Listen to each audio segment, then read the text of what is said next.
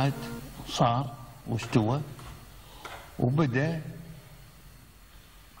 ينشر ثمراته. وبدأوا الناس يذوقون منه الذوق الطيب.